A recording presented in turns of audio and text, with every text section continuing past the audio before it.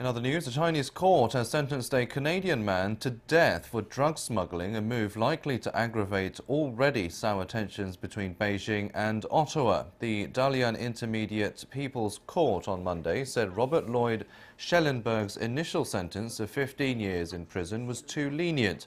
The court was hearing a retrial after Schellenberg appealed last year's ruling. Monday's decision by the court prompted an angry response from Canada's Prime Minister. It is of extreme concern to us as a government, as it should be to all our international friends and allies, that China has chosen to begin to uh, arbitrarily apply uh, death penalty in cases uh, uh facing, uh, as in this case, uh, facing a Canadian. Ties between the two nations have deteriorated after the arrest of a Huawei executive in Canada last month. China, for its part, has since detained two Canadian nationals, accusing them of endangering national security.